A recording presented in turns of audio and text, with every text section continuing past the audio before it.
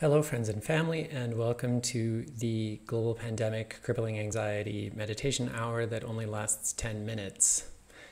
And I realize that the last video lasted much longer than 10 minutes, so I'll try to keep this one brief. As usual, this is not meditation instruction, and I am not a meditation teacher. This is just meant to be uh, a bit of um, conversation around meditation hopefully encouraging you to try to make use of meditation in uh, these somewhat stressful times. The topic I wanted to discuss today is that of paraphernalia. And it's come up a few times recently um, with friends and acquaintances who are relatively new meditators, and they hear things and have these questions like Does it matter what time of day you meditate? Does it matter where you meditate? Does it matter how high you are off the ground when you're meditating? Does it matter which direction you're facing? Does it matter what your diet is? Um, and the answer to all of these questions is yes, but no. So the truth is that ultimately um, there are a number of factors which can contribute to more productive meditation, but a lot of these are quite subtle. Um, and especially early in our meditation practice, it doesn't really make much of a difference. You're going to find, at least I have found, that there's so much struggle just to bring my attention to the meditation object at all that uh, where I'm sitting and the direction I'm sitting is is not really a factor in the quality of my meditation. If you want to do any of these things, if you find that they help you, go ahead. There's certainly nothing wrong with using additional uh, supports to help you in your meditation. I would encourage you to avoid artificial supports, um, incense, and uh, external sounds, things that will only distract you by um, opening up your sense doors to external events. You don't really need that. Um, if you find that uh, to get yourself back into a meditation practice, that that's easier um, to start with external sounds and things uh, in the capacity of a fence, as we've discussed before um, that's okay. But remember that that is sort of a pre meditation. Um, that's just an environmental tool to help you get to a point where you can meditate in complete silence and um, and try to avoid once you get to that point relying on any external supports.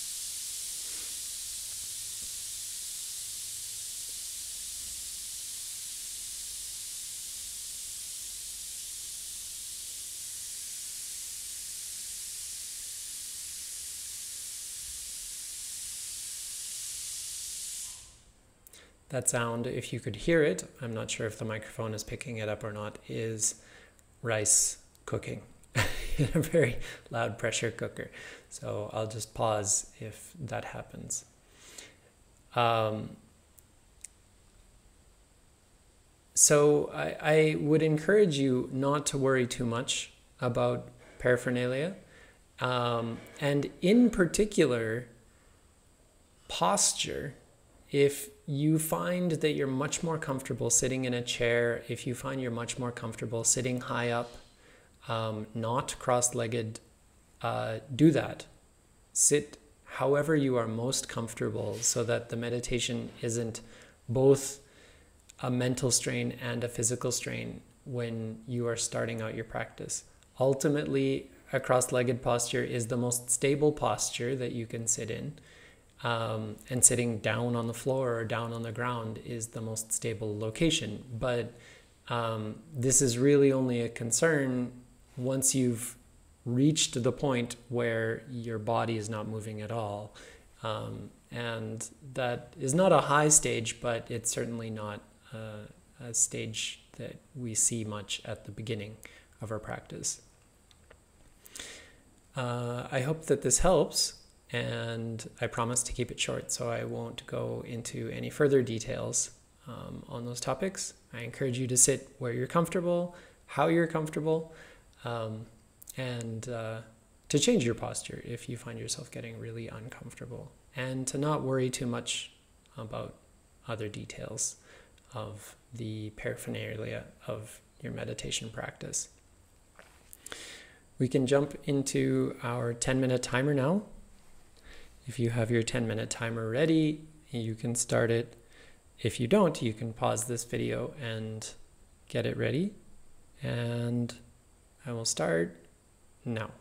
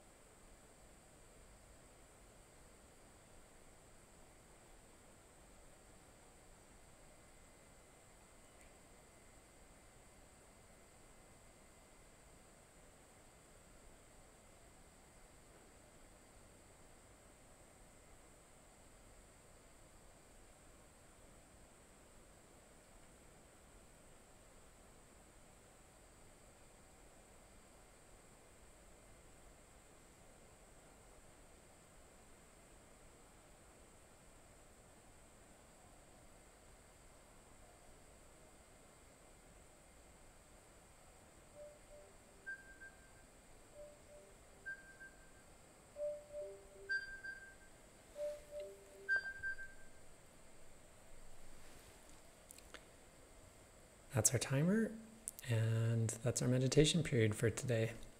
I hope everyone is keeping well, and we will see you tomorrow. Good night.